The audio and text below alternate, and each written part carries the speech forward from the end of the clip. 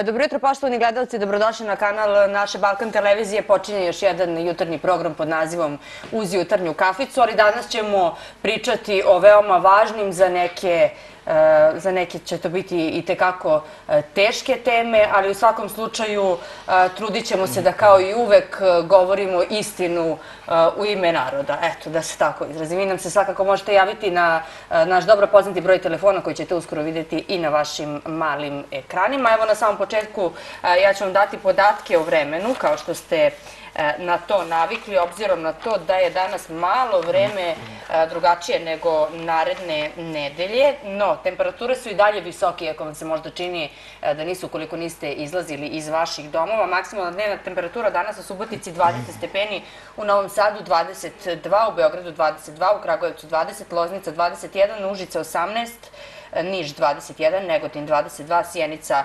najhladnija gde će maksimalna dnevna temperatura biti 14 stepeni, Vranje 19 i Priština 18 stepeni. Dakle, ne treba nešto mnogo toplije da se oblačite nego inače, ali svakako kišobran treba da ponesete obzirom na to da su meteorolozi e, najavili kišu e, u nekim delovima naše zemlje za popodne. E sada vreme da vam predstavim e, moje današnje goste, kao što rekoh, veoma važne za neke teške teme, ali ipak važno je da se njihov glas e, i danas čuje, obzirom na to da se čuo e, i prethodnih meseci. Samo danas Vesna Simić, Violeta Kostić i e, Milenko Manojlović, oni imaju, nažalost, jedan onako zajednički naziv, otpušteni preko fejsa. Mi ćemo objasniti o čemu se radi, ali pre svega dobro jutro i dobrodošli. Dobro jutro, hvala vam. Hvala na pozivu. Kako ste? Pa s obzirom nakon skoro sedam meseci, ajde da kažemo da i nismo toliko loše koliko je moglo da bude. Da. Nas je verovatno održala i sva ova borba i volja i želja da nešto postignemo, odnosno da se uh, postigne pravda. Mm -hmm. Jer sve što je sa nama učinjeno, učinjeno je i nije bilo pravedno. Violeta, kako ste vi? Pa, s obzirom što je rekla koleginica šta nam se sve izdešavalo u proteklih sedam meseci, nije loše. Bogu hvala, dobro. Dobro. Borba i dalje traje i evo traje već čitavih sedam mjeseci, ali za one koji ne znaju da malo uputimo narod o čemu se zapravo radi. Radi se o Srpskoj fabrici stakla Paraćin, je li tako? Da.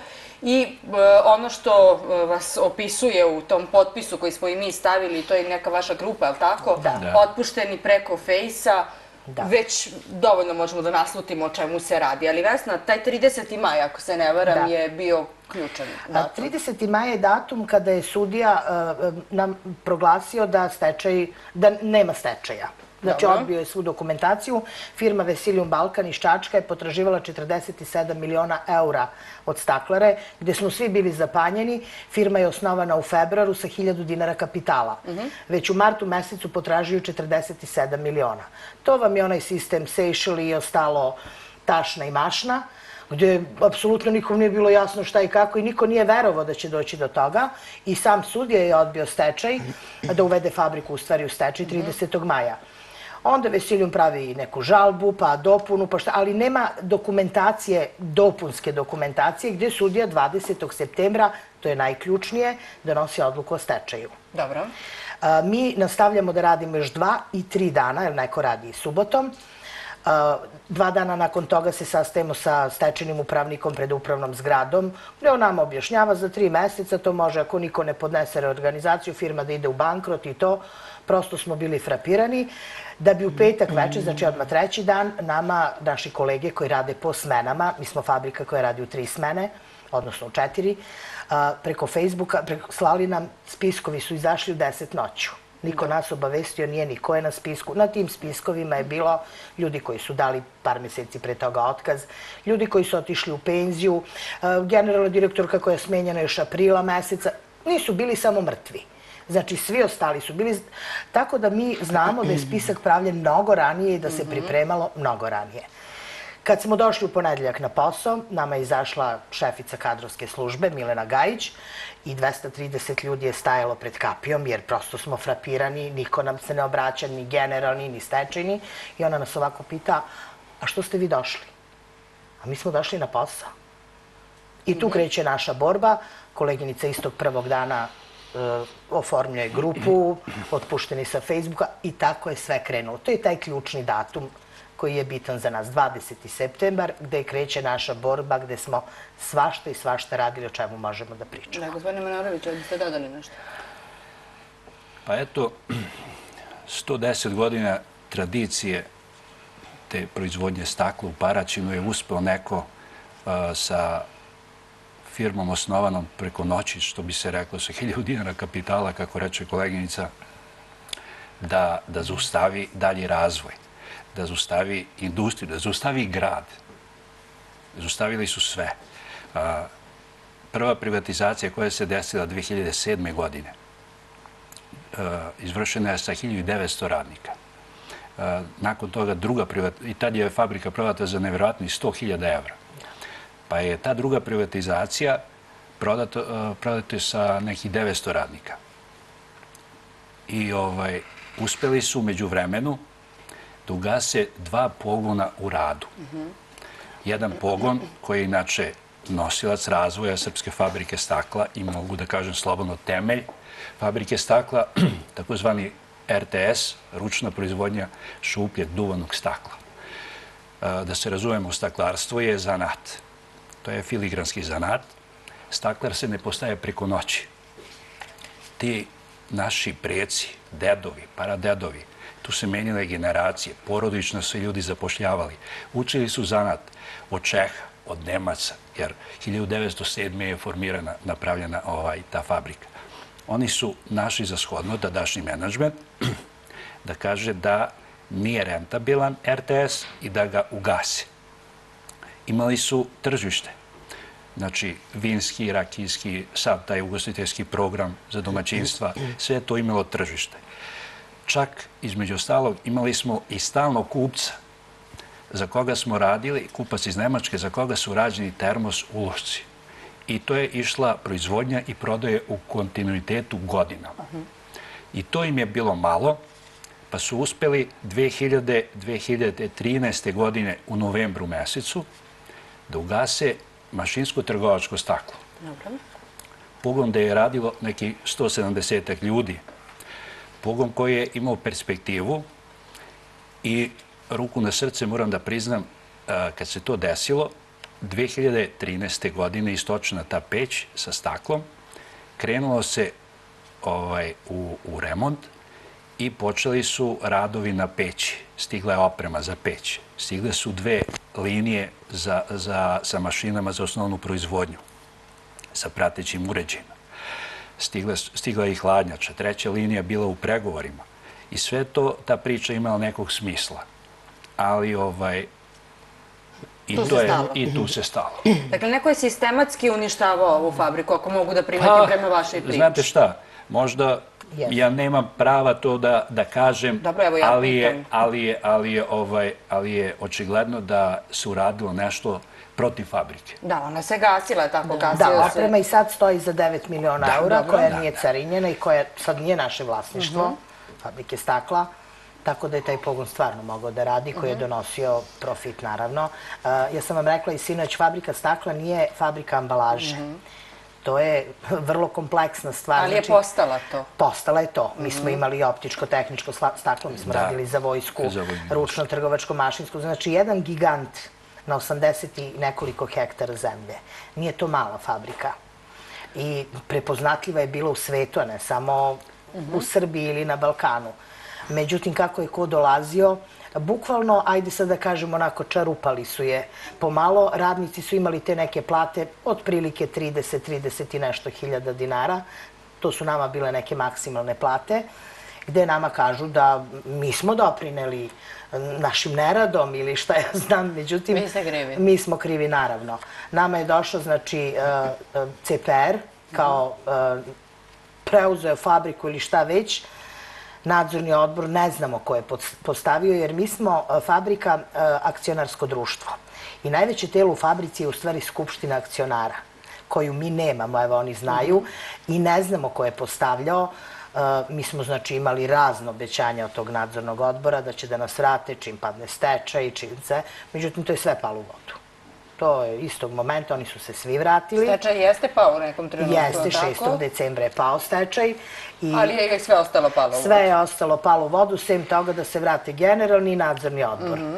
I koleginice će kaže, nju su iz nadzornog odbora vratili, pa otpustili, pa... U stvari, hteli su da vam kažem, prvo, eh, kad je prvi dan stečaj pao, nas nekoliko žena su u stvari udružili. Žene su povele svu ovu bitku Dobro. Bukvalno bitku, da kažemo, jer svašta smo doživljavali. Pridružilo se nam se posle još par kolega i nas 7-8 je neko ko, hajde da kažemo, guramo tu priču. Trudimo se i guramo tu priču. Gde su oni nama hteli, u stvari, i posle kad smo podneli tužbe, da zatvore usta, da nas vrate, da povučemo, da malte ne neke ucene, uslovljavanja, ajde da ne bude gruba reč ucena, ali uslovljavanje. Evo, koleginić kaže na koji način se ona vratila i kako, s tim što smo mi na prepad ušli Mi zovemo Vila tu našu direkciju. Mi smo na prepad ušli, ispred je stajalo masa ljudi dva sata, zima je bila 18. decembar. Decembar. Da, gde smo mi dva sata s njima haos pravili, e, čudo prošlo, prosto je bilo gde oni nas uslovljavali da ne tužimo, ali i da se ne vraćamo. Da čekamo mart, april, naravno nama bi svi rokovi prošli, nama je bio 24. januar krajnji rok da tužimo za povraćaj rešenja i šta ja znam. Oni su nas uslovljavali, mi to nismo hteli. Mi smo svašta... sve je vrlo plan- Da. planski urađeno na I neki sada način. rade planski, verujte mi da i sada. Hajde da čujemo e, Violetu. Violeta, vaš slučaj je specifičan. E, Da. Ovde e, u, u ova dva slučaja čini Da. mi se je situacija vrlo jasna, ali kod vas se, Jeste. ako sam dobro informisana... Jeste, ja bih se samo još jednom vratila na 20. septembar, Dobro. E, na datum 21. i 22. kada smo se mi nalazili na svojim radnim mestima bez znanja da nam je zdravstveno i penziono osiguranje odjavljeno. Dobro. E, vratila bih se i na to da su nam zabranili ulazak u službene prostorije gdje su bile naše lične stvari. Da. Znači, mi nismo mogli da uđemo. Koleginica je šećeraš, njoj je insulin bio u kancelariji, ona nije mogla da dođe. Vozila me hitna. Vozila je hitna. Znači, 20. septembra je stečaj otvoren u Srpskoj fabrici stakla, zaveden je kao stečaj 22. 2017. godine. Dobro. 6. decembra apelacijoni sud u Beograd e, e, ukida rešenje o stečaju i vraća na predstečajno stanje zbog nepotpuno i pogrešnih činjeničnih dokaza. E, posle toga mi se sastajemo sa nadzornim odborom, znači naša grupa organizacija otpuštenih preko Fejsa, nas 6-7, odlazimo u upravnu zgradu Vile i tu se sastajemo sa gospodinom Svetozarom Crnogorcem. E, bio je još jedan član nadzornog odbora, Zoran. Zoran Vučković, gde mi dva sata vodimo raspravu I sa advokat njima. Tomašev. Da, i advokat Tomašev. Koji su njihovi argumenti bili u tom trenutku? Znate kako, trebao je on nama, trebali smo mi njem, njemu, mi smo svako ročište prisustvovali u Kragujevcu, mi smo imali obećanje kada padne stečaj vraćamo se na posao. Znači, ispred 50 ljudi javno je govorio padne li stečaj, vi, će, vi se vraćate na posao. Kada smo saznali preko sindikata da je nadzorni odbor došao uveče u fabriku, ja i koleginica, baš sam bila kod nje, krenuli u vilu, usput slali poruke na društvenu mrežu, okupilo se oko 60 ljudi u roku od 20 minuta. Oni prvo nisu hteli da razgovaraju sa nama, e onda je pošlo baš u raspravu u nekom drugom pravcu kome mi uopšte koje nismo očekivali. Jednostavno nismo više mogli da prepoznamo te ljude. Tu je bio i naš stečajni upravnik, bio je i naš generalni direktor Boban Bogdanović. To su ljudi sa kojima ste vi do juče radili, da, Da. tako Da, kažemo. da. Tako, do juče radili, do duše mi ovo gospodina Crnogorca upoznali smo u Beogradu kada smo u vladu nosili peticiju u kojoj su učestvovali građani Paraćina gdje smo tražili revidiranje stečajnog postupka i kontrolu nad radom privrednog suda, to jest stečajnog sudije u Kragujevcu. Dobro. Posle dva i po sata raspravke sa njima, mm, do nikakvog rješenja i dogovora mi nismo našli. Jednostavno, došli smo do zaključka da mi ipak moramo da tužimo fabriku stakla, iako to nikad nismo uradili. E, ujutru sam bila pozvana iz vile od devojke iz pravne službe, Nataše Pavlović, koja me je pozvala i rekla da dođem hitno u vilu, da potpišem rešenje o povratku na posao. Znači, da nikom ne pričam. Ali da nikom ne pričam, A Znate naravno. možda kako su oni pravili tu selekciju? Evo, Violetu su pozvali da se vrati, vas, gospodine Manojloviću, nisu i vas, Mene jesu posle, treće. a vas su da, posle. Da. Kako je napravljena ta selekcija? Da li Pa uopšte možete da naslutite? Možemo da naslutimo, jer u Vili e, kolega trenutno nije bio u Paraćinu, pa nije bio prisutan i nije bio Dobro. sa nama. A, mene i Vesnu su znali od ranije, tako da su gledali da tu organizaciju očigledno razbiju. Vas koji ste se Da. zapravo i okupili da, Da. nešto promenite. E, sutra dan ja budem pozivana u vilu e, gde mi bude ponuđeno rešenje o privremenim i povremenim poslovima. Dobro. I od strane pravnice sam obaveštena da ne bi trebalo nikom da kažem dok ne potpišem. S obzirom da ja imam grupu od 230 otpuštenih vodim, ja sam odmah na grupu izbacila da se ja vraćam u fabriku i da me vraća menadžment Srpske fabrike stakla. Dok ja potpisujem ugovor, koleginica Vesna daje izjavu o mom povratku za kanal M, ispred- to je... ispred. Jer već su svi bili obavešteni, znači ja nijednog momenta nisam htela da izdam 230 ljudi, nas 7-8 iz organizacije moglo je da bude vraćeno i da radi, mi nismo želeli po tim uslovima. Dobro. Jednostavno uslovi nam nisu odgovarali, evo pokazat ću sad Ponela sam tu sa sobom ugovor o privremenim i povremenim poslovima gde glasi Znamo da smo nezapošljeni. znači, Da, da. Nezapošljenog lica. Ja se vraćam u fabriku, radim dva i po meseca i organizuju se razni protesti. Naravno, ja ne odustajem na svakom protestu ispred vile ako sam zapošljeno lice. Jedina ja iz Srpske fabrike stakla pridružujem se otpuštenim radnicima. Dobijamo obećanje jednog momenta od generalnog direktora da će na protestu otpuštenih radnika biti dozvoljeno da izađu zapošljeni koji su nudili pomoć, znači ostatak 600 radnika koji bi se pridružili. Jedna sam i ja među njima jer sam unutar kapije, pokušavajući da izađem na kapiju, stigla je naredba da jednostavno zapošljeni ne mogu da se pridruže otpuštenim radnicima. Ehm, 1. marta 2018. godine, znači Samo je zaboravila, izvinjaj, koleginica je zaboravila da kaže da 6. februara 6. decembra svi mediji u Srbiji objavljuju i televizijske Da. kuće. Vratilo se vraćeni. 230 radnika na posao. I tu je naš menadžment završio posao. Svi znaju da smo vraćeni, oni nas ne vraćaju. I onda mrak. Da. Onda I mrak. smo se jedva probijali u nekim medijima, ali to je bilo mnogo malo. Da. Gospodin Manojlović, evo za vas jedno možda i lično pitanje. A, Kakav je osjećaj tužiti firmu u kojoj ste proveli godine, stekli prijateljstva, ako ništa drugo i taj zanat, zar ne? Težak je, težak je i loš je o- osjećaj, otužan. Ja radim u stakleri 33 godine. Ovaj, ali smo bili svesni da po, e, da po automatizmu ne možemo da budemo vraćeni. I mi smo morali da tužimo za poništaj rešenja o otkazu. Ljudi koji su ostali na svojim radnim mestima, njih negde oko 500 u fabrici su Trenutno, da. trenutno da ovaj, ubeđivani, nemojte da tužite, vi radite. Dobro, radite. Međutim, šta se dešava? Dešava se i dalje sporadično otpuštaju po pet, po deset radnika. Sad oni nas zovu i pitaju šta da radimo. A, rokovi su istekli, Dobro. Trebali su, jer To je pazite, taj 24. januar. Da, istekli sad Kraj jer pazite, kad se uvede preduzeće u stečaj, svi su radnici van fabrike Dobro. stečeni upravnik uzima onoliko koliko on smatra da treba da zaposli radnika. Da li će da zaposli te radnike koji su već radili u fabrici ili će dovede neke druge, to je njegova odluka, njegovo autonom, autonomno pravo. Mi to ne možemo da se mešamo. E, oni su to uradili, znači svi su, svih 820 radnika je praktično ostalo bez posla.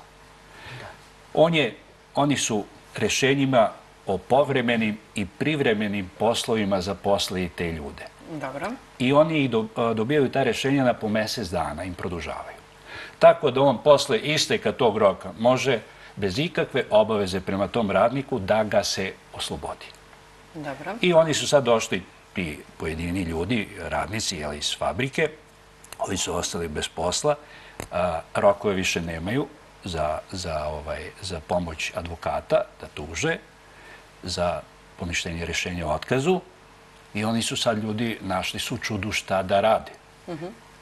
Pozivani su, sve smo kolege pozivali, ako smo mi bili, da kažem, ispred kapije, mi smo ih pozivali, oni su mislili da mi to radimo nešto loše, kontraproduktivno. A ja ću samo da vam kažem i to kad me pitate kako se osjećam. Osjećam se veoma otužno i, i stvarno mi je teško. A, Bilo je vremena i teški period u fabrici i svega je bilo tu. I bilo je razloga možda i za tužbe. Svi koji su uglavnom tužili, svi su ostali u fabrici, hoću to da vam kažem. I naplatili od fabrike. Jel I da? naplatili od Da, fabrike. svoje vremeno. Preko svojih pravnih punomoćnika, advokata, su naplatili svoje tužbe i, ovaj, boga mi, i debelo se omastili što se tiče novca. Eto tako. To su bile velike cifre. Da. Htjela sam nešto drugo samo još da kažem. Koleginica ima troje dece, samohrana majka. Oni su otpuštali trudnice, porodilje, nju eto kao samohranu. Bukvalno su na spisku nalazili ljudi bolesni, invalidi, naš, teški invalidi, čovjek i bez ruke, koji je bio kurir. A, oni su gledali tako da se oslobode. Da bi sad, šta nas još više pogađa, gledamo koga zapošljavaju. Koga? Školske drugarice, koje dolaze na mesta tih istih, ne primjer naša porodiljova iz HTZ-a, na njeno mesto dolazi školska. E, Znate, to sad već vređa, mnogo vređa. A, mi smo svašta radili. Dobro, je li to njihovo pravo? Vi Pa, ste malo čas jeste spomenuli da mogu da zaposle sada koga god jeste. žele. Slušajte, ovaj, pravo. to je pravo stečenog upravnika i to njemu niko ne spori. Dobro. Ali, ako pitate malo pre mene kako se ja osjećam, kako se osjeća ti 250 ljudi, pa zar Jasno je od meni. 250 ljudi nema 10, 20 pogo, uh, ljudi koji uh, mogu da odgovore tim radnim zadacima i da se vrate tamo. Radili su, stečajni upravnik je morao da uradi sa svojim ljudima tamo popis. Da, Oni samo znaju kako su ga uradili. da. I s kim su ga radili. Mislim, ima mali milion Paraćin je mali, nepravilnosti. paraćin je Pa mali da, i verujte da se sve zna. Drugo, mi imamo toliko insajdera u fabrici. Bez obzira što ljudi nisu tužili se opet na našu stranu. A mi smo svašta radili. Ja sam vam rekla, mi smo čak organizovali ekskurziju u Čačak, dajte da vidimo tu firmu. Tražili smo, tražili. Recite mi kako ste meni sinoć putem telefona rekli Mi kako smo je to. tražili tu firmu da nađemo, da vidimo šta je to Vesilium Balkan, ko je taj ko nas tera. Na kraju smo našli, to je jedna zgrada, u zgradi garsonjera od 30 kvadrata, to je Vesilium Balkan. I Šta se to je tu firma koja je oterala fabriku srpsku Da. fabriku stakla paraćenu stečaj. A šta je bitno? Postoji pozajmica, da se mi razumemo, Dobro. pozajmica postoji, ali je naša, ali je to ušlo u investiciju od 116 miliona eura. I to je država priznala. To je država priznala, agencija za privatizaciju. Dobro. Međutim, sad su oni šta su radili, mi to više, mi ne znamo, na kraju nismo ni ekonomisti, ni pravnici, mi smo obični ljudi koji su radili u staklari, oni su preko tih sejšova, tamo, vamo, i sad, naš taj sudija iz Kragujevca ponovo uvodi fabriku 18. januara u stečaj, a, gdje je njemu tražio apelacioni sud dokumentaciju iz privrednog, i, a, sud, iz privrednog a, ministarstva Bugarske i našeg i pravnog valjda ministarstva, gdje on nije dobio dokumentaciju. I sad naši odlaze tamo na ročište, opušteno ročište mora da se odloži. On kaže ne, ponovo stečaj. Na osnovu čega je dobi, došli smo ponovo u stečaj? Jer je advokat Vesilijuma Balkana dostavio tri neka podneska. E, neki Službenik. službenik u nekom ministarstvu kojem je dostupan pečat, dostavio je tri rešenja nekih firmi u Bugarskoj koje su na sličan način otišle kao staklar u stečaj. Pa pošto je to slično, ajde idemo Po mi opet u stečaj. modelu ste Po zapravo tom i vi modelu smo mi ponovo otišli. Po tom modelu, htela sam malo pre da kažem, kada ona kaže za svoju tužbu, a, vraćao je nas generalni i meni i još jednog kolegu Dobro. 3. januara, ali mi smo se zadržali jedan dan jer je odmah bio uslov, naše tužbe se već znalo. Tužbe su stiž, Da stizale tužbu. Parcijalno, kako je ko tuže, da. Mi nismo hteli. Koleginica njena, koja je pet dana pre toga a, došla da radi, do, došla je tužba, odmah su je najurili, mi nismo hteli, oni su hteli da vrate svih sedam, osam da bi nas učutkali. Znači, pitali su poimenično ko i šta, da bi nas, jer ako mi povučemo tužbe, svi bi ljudi povukli tužbe, mi bi izdali u stvari tih 230 A da bi čoveka. se svi Dobro, za vratili. njih to nije ništa, Za očigledno, njih to nije izdati ništa, 230 njih nije, ma za ljudi. njih nije ništa mnogo više izdati. Tako da su njoj u jednom danu... Evo imamo snimak sada da pogledamo šta je ovo. Ovo je prvi dan, 20. Da. septembar, proglašenje stečaja. Da. Mhm, Dobro. Gde nas pita ta šefica zašto ste došli. Gdje smo mi eto probili rampu i ušli u krug fabrike. To je bilo 11 ili 13 automobila Bila policije. Da. Pa bili smo Evo, nerešeno kartice ne rade. jedan, jedan. Jedan, jedan, kaže. Tako. Ovo ja. Ali do duše nisu imali Ovaj problema, čovjek nisu do mene je nikakve invalid mere rada pravili. bez ruke. Njemu je u fabrici... Njega ste pominjali. Njemu je u Da, Ovo je fabrici naša ruka. trudnica. Da, Ona se koja se skoro, porodila. skoro porodila. E, ovo je naš invalid. Čovek koji je ruku ostavio u fabriku i nikad nije tužio fabriku. Heroja sa košara su otpustili mladog Vidite. čoveka. Mi sad, nažalost, ne možemo da čujemo šta, Da, oni, da, da, da, šta da. oni govore, ali vi ste ispričali ono što, jeste. to može Ovo ima na našoj stranici otpušteni preko Fejsa, pa može da se pronađe. Ovo je pravnic iz Beograda koji je nezavisni sindikat eh, doveo tog momenta da mogu da nam objasne neke stvari. Pa je vam objasnila išto ovo, Pravno, da. Pa gospođa? nije ona nama mogla toliko da objasni, jer znate šta, kod nas se ne zna vlasnička struktura. Mi ne znamo vlasničku. Pošto smo mi u stečaju, a, a glas industrije sve konfiskovao Cvetanu Vasilevu, mi smo u stvari vlasništvo korporativne... Da, mi smo vlasništvo korporativne banke Bugarske, tako ispada. U stvari, tamo je glas industrije već u stečaju. Samim tim i mi smo sad ispada stečaju u stečaju. Tako da ona nama nije mogla ni pravno mnogo da objasni, jer smo specifična firma, zaista specifična, gde se ne zna vlasnička struktura, gde se, ne- gde se ne zna ništa. Stvarno se ne zna ništa, može da radi sad šta hoće i kako hoće. Mi smo svesni da i sa tužbama neće oni lako da pristanu, mada nas ispraće posle inspekcije rada, ako, jer ovo su tužbe prioriteta koje idu po hitnom postupku. To vam je kao ovo za alimentaciju a, i mi ćemo sigurno da dobijemo te tužbe. Jel verujete u srpsko pravosuđe sada u ovom trenutku, u ovom slučaju? Verujemo. Pa verujemo, pa ajde da Želimo kažemo, da verujemo. želimo da verujemo. Da, što je rekao kolega, želimo da verujemo, a, jer mnogo smo se opekli ovih sedam meseci. Pa zato vas i pitam da li Mnogo verujete. smo se opekli, ali ajde da verujemo, pošto je u našem osnovnom sudu naše tužbe idu, pa ajde da verujemo da su to opet neki naši ljudi, ali, ali, ali ograđujemo se, mada ništa, opet ćemo mi da dižemo bunu. To nikakav problem nije. Mi smo se dogovorili pop. da ako ne ostvarimo ovde naša prava, mi idemo i za Zna se gdje Strasburg. se ide, da. da. Pa javili su se već da, naši, ja, sponzori, kad je u pitanju, pomenuli su koleginice Strasbur i ovaj, jedna mlada pravnica iz fabrike je prokomentarisala, pa Strasbur, kaže, to, on se ne bavi ljudskim pravima. Pošto se ona deklarisala kao da je radila u Hagu, da je branila haške optuženike, pa kažem, sigurno se tamo ne optužuju ni haški optuženici, kažem, oni su u Hagu, kažem, ovo je Strasbourg, baš naprotiv, on zastupa ljudska prava, kažem. Tako da, ovaj, iako bude bilo potrebno, sigurno ćemo da idemo dalje. Pa sad, vidjet ćemo kako će da Zbog bude. ali- načina na koji smo otpušteni, mi nećemo... Hajde malo, Violeta, da objasnimo to preko Fejsa, kako, ko je poslao te spiskove? E, to je bilo strašno. Kako znači, ste ja mislim da sam među prvima dobila poruku, ne bih da imenujem, Dobro. neki su možda već i zapošljeni, radnici obezbeđenja, gde je u petak u 10 sati stečeni upravnik u krugu fabrike istakao, samo ne znam kako je mislio da ćemo mi taj spisak Da vidite da uopšte. vidimo kad su nama identifikacione kartice bile Da, blokirane. da, to smo videli na snimku, Da, dobro. videli ste na snimku. E, šok za mene. Znači šok kada I sam vi vidjela- dobijete spisak od 233 Da. i tražite vaše ime, I li među tražim svoje ime i nađem svoje ime. Svoje ime nađem. Prvo što mi je bilo čudno, bilo mi je čudno zato što je prva na spisku bila bivša generalna direktora Verica Matković. Zatim još jedan čovek koji je radio u ljudskim resursima, divac, više se ne sećam kako se zove. Onda sam videla ženu koja je penzioner, moja koleginica. Ništa mi nije bilo jasno. Dakle, ljudi koji odavno ne rade. Da. da Da. pojasnimo vam. Hm, Da, dobro. cijelu noć nisam spavala i rešila sam da napravim chat i grupu Mhm. otpušteni preko Fejsa, jer preko Facebooka sam saznala. Valjda ćemo preko Facebooka i da se vratimo, tako će da nas Mhm. obaveste. Vesna, šta vi kažete? Pa ja mislim da ćemo da se vratimo s pleh muzikom.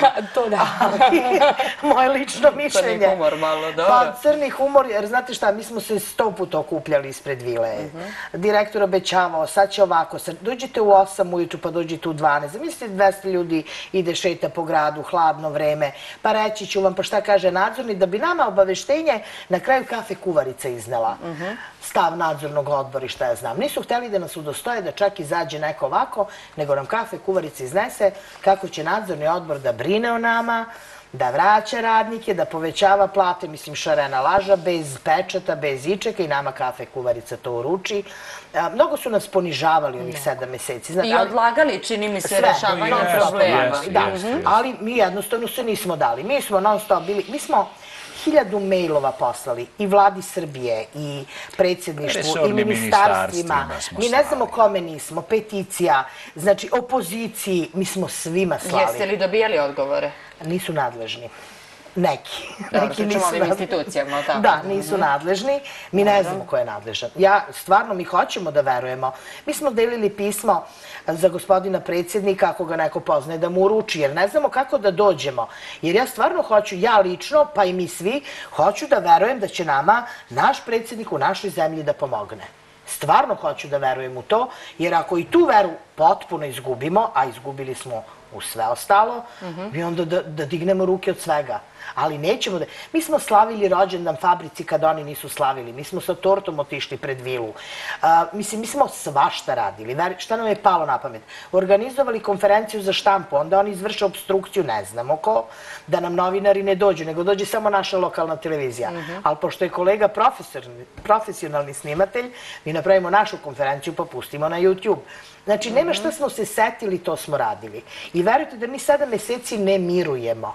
Mi svaki drugi, treći dan, da kažem, mi se okupljamo. Obavezno nas 7-8 da vidimo šta dalje i kako. Znači, od tog pisanja više, ona ima kući dokumentaciju sigurno ovako još. Da, da. Ona je nešto malo ponela.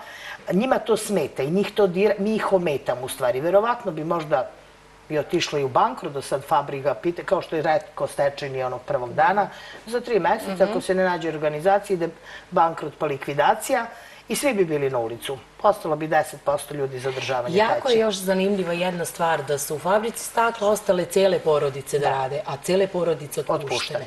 Recimo u mom pogonu RTS koji ima samo dekoraciju, znači doradno odelenje, otpušteni smo svi. To je neka moja najbolnija tačka iz 20. septembra, gde ja tu noć listam spisak i tražim svoje ime, gde vidim da jedan kolega, ne bih da ga imenujem, nema ga jednostavno na tom spisku. Dobro. Jel Nema možete ga. da naslutite Mogu onda? da naslutim i hoću da kažem, kolega je iz sela Glavice, to je nedaleko od Paraćina, gdje smo mi to selo prozvali mesnu zajednicu, Glavički klan, odakle naš direktor I uglavnom su svi glavičani. i uglavnom su svi... I kumovi i rođaci. Da. E onda kad smo mu se više popeli na glavu i nije mogo da podnese pritisak glavički klan, onda su polako glavičani počeli da dobijaju otkaze.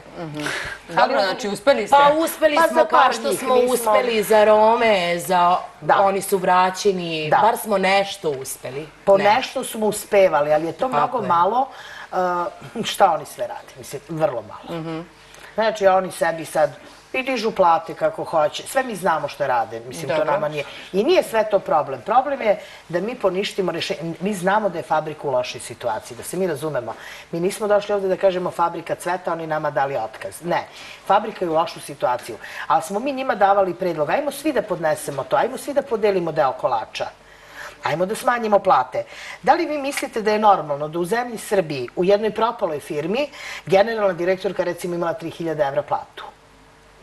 Nama to nije bilo normalno. U Paraćinu, u tako malom gradu, u firmi koja, koja je u blokadi, ona ima 3000 evra platu. Jasno. A za vas nema? Za nas nema, to je njoj dao menadžment. Ja kažem, ajmo da podelimo mi to. Ajmo, normalno je da imaju više platu, normalno je da imaju službeni auto, sve je to normalno. Ali dajte da podelimo. Onda smo im rekli, ajde ovo što nam dugujete, dva, tad je bilo dva meseca, tri koliko. Ajmo reprogram. Ajmo na godinu dana nas isplatite, neće da tužimo, da se vratimo. Ne, oni ne pristaju na ništa. I oni su bukvalno, boga mi, do sada oko 300 ljudi otpustili, ali parcijalno Ima, otpuštaju. Evo, preprošle nedelje 30-ak. Da, 30 Da, 30-ak I to se nigde ne može čuti. Evo ja, Ne, a, kada ne. sam Ne, razgovarala u ovom slučaju sa gospođom Simić, a, ono što sam vam rekla, ne znam da li se sećate o našem telefonskom razgovoru, o ovome je jedino pričao gospodin Vuk Jerević, ako jeste gledali. Niko to ne pominje, pominjali su onda kada je njima odgovaralo da kažu da su se radnici vratili Da. i tu se priča završila, priča zapravo ima i tekako, i tekako loš nastavak. Mene samo zanima, e, gospodine Manoloviću, jeste li se bavili, da li postoji sličan model e, ponašanja prema nekoj firmi e, u Srbiji? Da li možete da napravite paralelu pa, onda da naslutite šta će se dešavati? ima, ima, ovaj, ima, imate uh, knjaz Miloš, Oni imaju, s njima smo, koleginice su bile u, kontaktu sa, I sa Gošom. Da. i, i sa Gošom, da. Dobro. Ali, znate šta, sva, svaka firma uh, je specifična. Uh, staklara je, ovde je najveći problem što nikada ne odgovara neko ko je kriv. Jasno. Ne možete da okrivite radnika, ne možete da- okrivite portira zato što fabrika ne radi dobro. Ovde se vuku repovi iz 80. 70. godina, ja ne znam od kada već. I to nikad nije niko želeo da ispravi. Nijedan direktor nije odgovarao. Nijedan čovjek iz menadžmenta nije odgovarao. Ljudi koji su kompetentni, koji organizuju proizvodnju, koji vrše nabavku, koji prodaju, vrše prodaju tih proizvoda, to niko nikad nije odgovarao.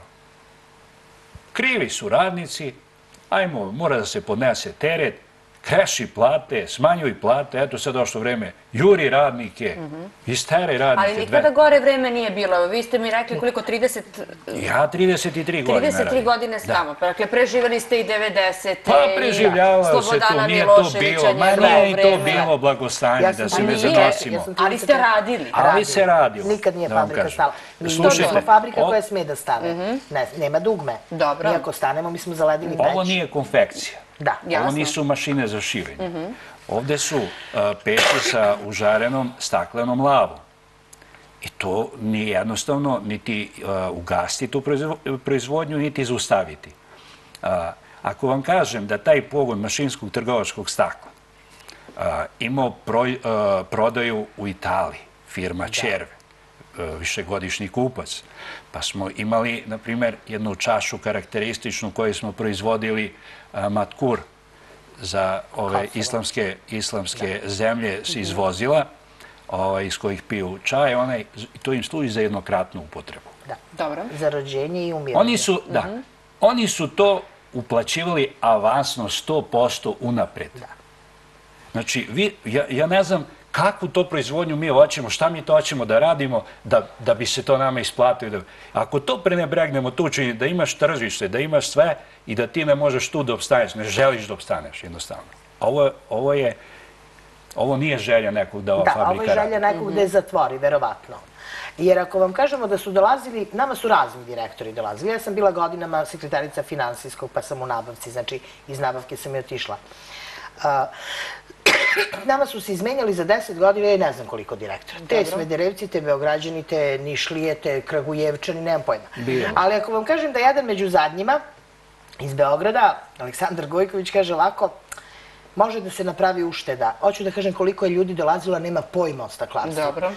Znali su samo da popiju iz čaše i to je to. A, može da se napravi ušteda. Mi neće da radimo u tri smene. Radit ćemo od 8 do 4. Onda ga pitaju ovi naši majstri kako od 8 do 4. Pa kaže, pa isključimo, idemo kuću. Kaže, kako bre isključimo? Pa vidio sam, kaže, ima puno dugmadi. On ne zna da mi ne smemo da stanemo.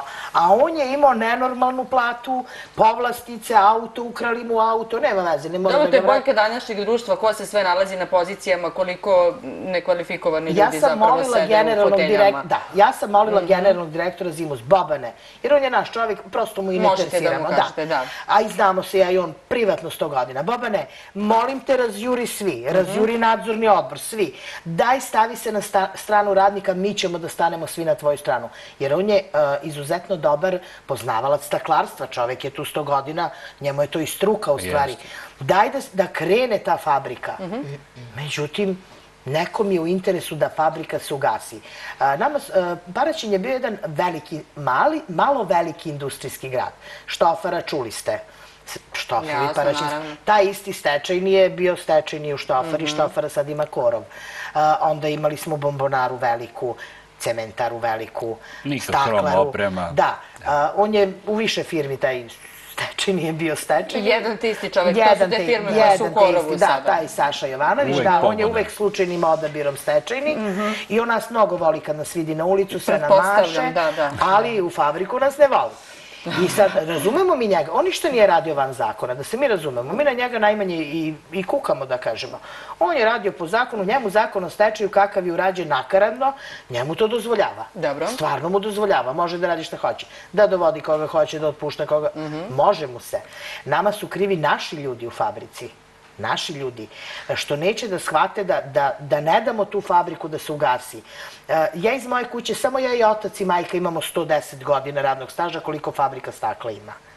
To niko, a mislim, nema sad to, jeste to sentimentalnost, u poslu nema sentimentalnosti, mi smo svesni Pa toga. nekada i treba da je Ali ima. neka treba, ja kažem, jeste on radio po zakonu i stečen i general, dajte malo ljudskosti. Da, nama padaju ljudi pred vilu, e, mene vozi hitna. Mislite da je nekog to briga? Moja koleginica, drugarica, bolesna, on je otpušta, ona umire posle toga. Ma niko malte ne saučešće da izjavi. E, izbacio si je na ulicu, sama je živela. Da, vidjeli smo trudnicu. Violeta nije je samohrana majka troje dece. troje dece.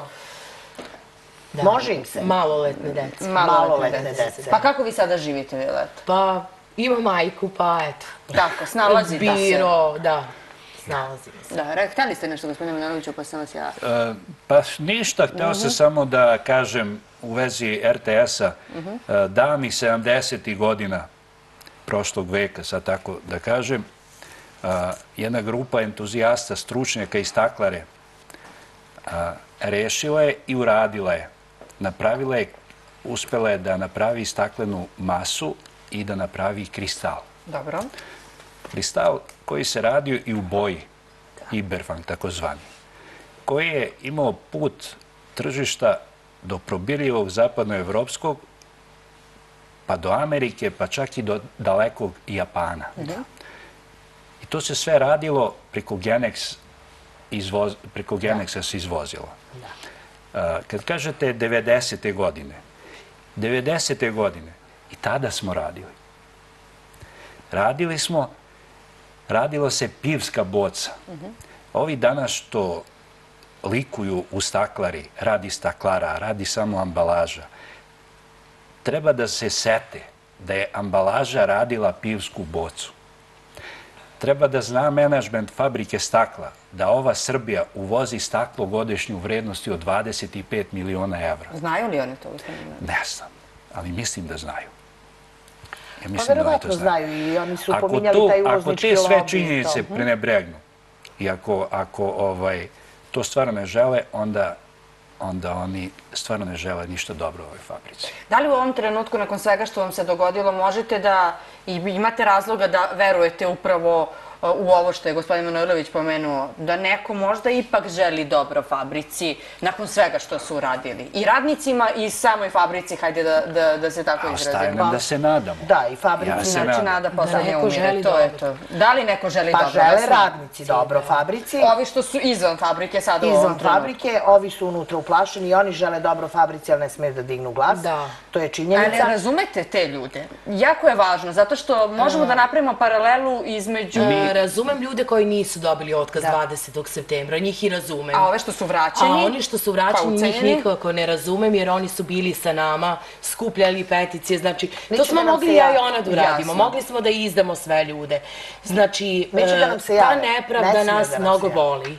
Mnogo nas boli. Eto jedan primer. Prvo poveriločko ročište u Kragujevcu, e, gde mi, nas 230, kao poverioci, gde nam nisu isplaćene plate za 20 dana, jer je proglašen stečaj 20. gde nam nije isplaćen godišnji odmor. Dobro. Nas 230 puta 230 plate puta 230 godišnjih odmora. Ne ulazimo u krug poverioca. Ulazi Kriz Davidovac, to je selo isto kod Davidovaca, koji je stečeni, pri- e, stečenom upravniku, drug, Najbolji drug. najbolji drug, za 82.000 Njemu dinara ulazi u krug poverioca, mi otpušteni radnici ne ulazimo. Mi E onda dolazimo do saznanja i do informacije koje stvarno nas mnogo zbunjuju. Fabrika stakla se prostire na 84 hektara površine. Dobro. E, prostora je nenormalno mnogo. Znači, mi nemamo prostora za odlaganje naše staklene robe. Gde se naša roba vozi u štofari, to je firma u kojoj je korov. Iznajmljuju se i plaćaju se hale. I U vreme vozi se stečaja. roba, plaća se prevoz, znači svakodnevno vreme kamioni. stečaja, sve, Sad, ja? da, U vreme stečaja.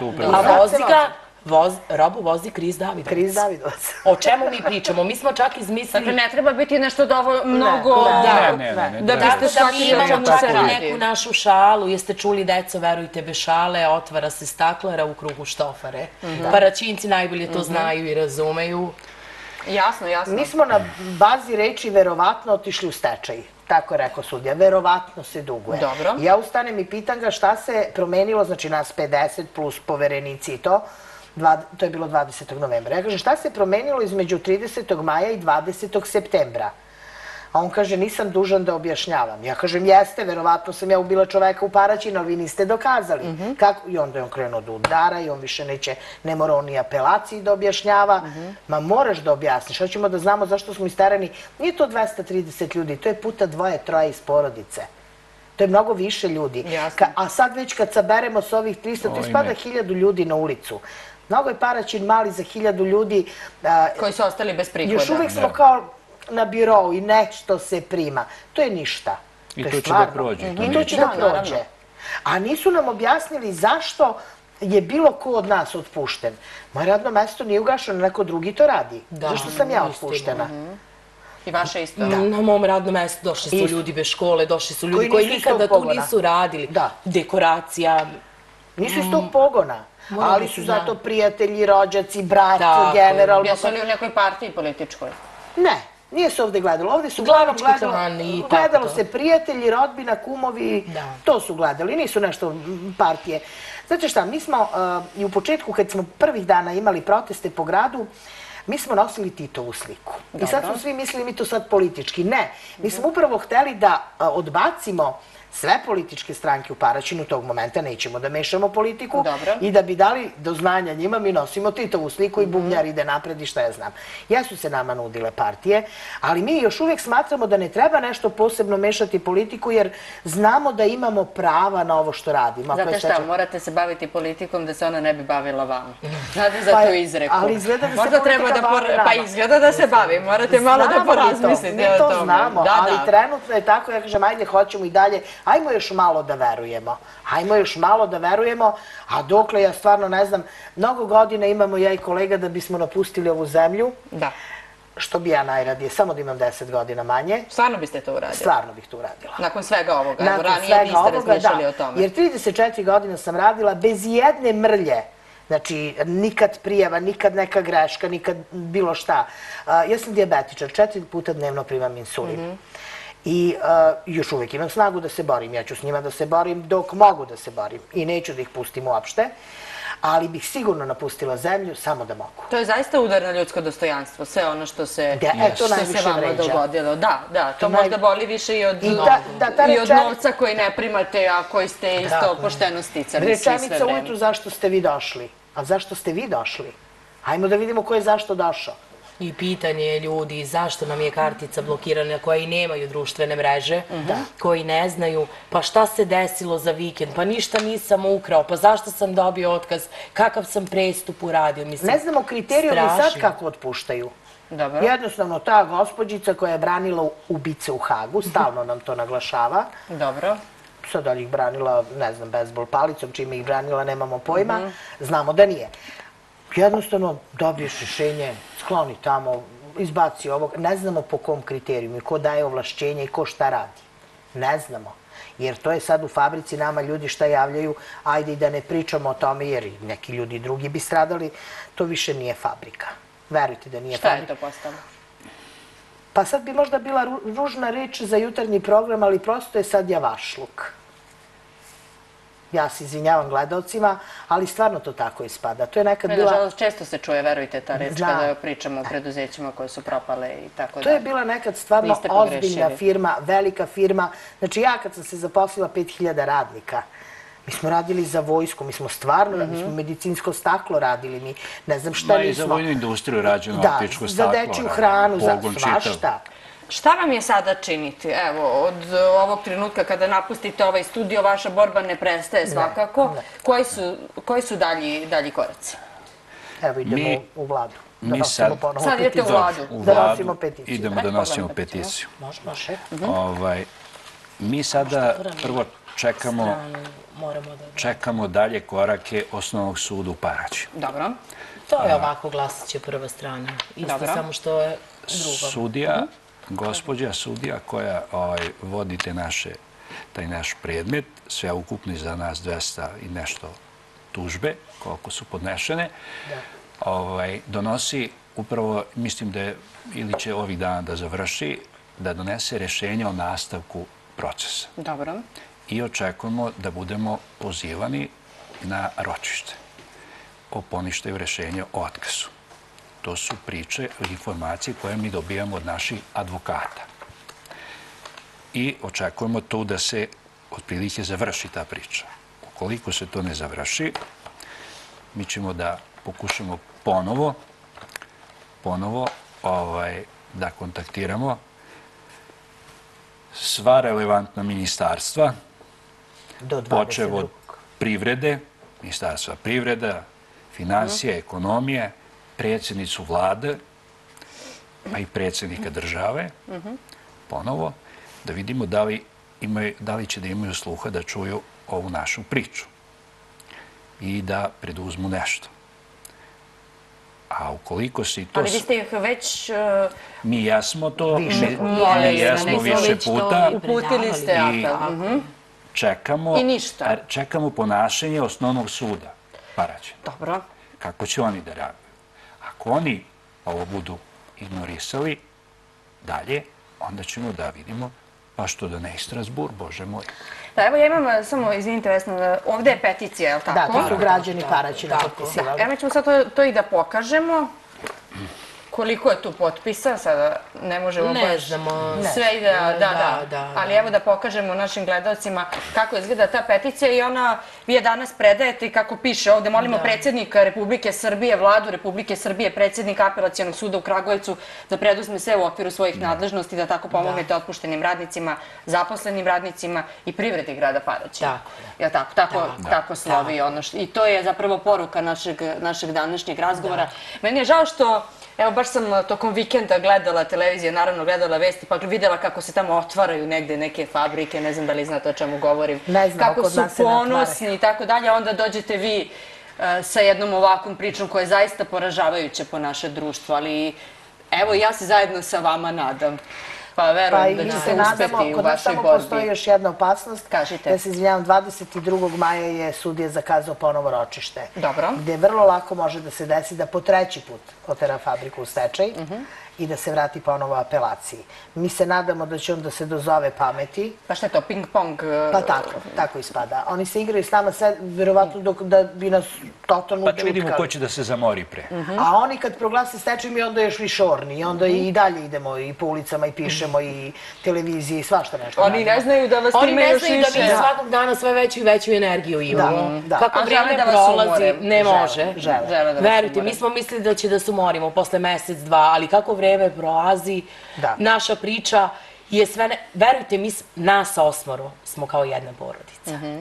Mi smo Znači- zakon izučili. Mi smo svašta iščitali. Mi, mi šta nismo naučili u ovaj stečaj, verujte mi. Dobro, kada To vas... ništa ne bi znali da, da smo ostali ono da radimo normalno. Mi ništa ne bi znali. Kada vas je okupila ovako jedna Da, teška okolnost, da, onda potpuno da, razumem da. zašto ste kompaktni i ovako Ma jedinstveni. da, tu su bili razgovori, konsultacije sa advokatima i priče. 11 i- advokata mi angažujemo i sudiju. Sva, svašta smo radili. Nama ništa nije bilo teško. Ta organizacija već za ročište i to autobusom, to, nama što ništa nije teško. I sve hoćemo da odradimo, jer nećemo baš da, je- da im damo da je ugase. A ono što je najvažnije, nije vam bilo teško da radite svoj posao. To nam bilo mnogo lakše Ne. nego ovo. To je bilo najlepše i najlakše. Najlepše i najlakše. Ali Velika je stvar biti zapošljen u današnje vrijeme u Srbiji. Da, I Očigledno da im ne trebaju pravi radnici. da, Nego oni podobni, da. Baš oni koji su stalno na bolovanju, koji... da. Eto, ali mi ne znamo da tapšemo i, i nećemo da. I još jednu stvar, evo za kraj našeg razgovora, ono što je takođe simptomatično, uh, ja bih volila da pomenemo, jeste da se ročište uvek zakazuju na neke važne datume. Na slavu. Slava, Uvek kad je, slava. kad... Da, sad je Sveti Nikola, bio je Sveti Ranđao i on računa da mi nećemo moći da se okupimo. Na, mi ima da povedemo Mi i babe i dede ako treba. Mi ima da napunimo to. Mi smo već poslali mail Privrednom sudu, Da. odštampali, odnećemo u Kragujevcu na pisarnici da tražimo veliku salu, jer pun autobus Da. dolazi. Jasno. Ne možemo baš više, ali toliko.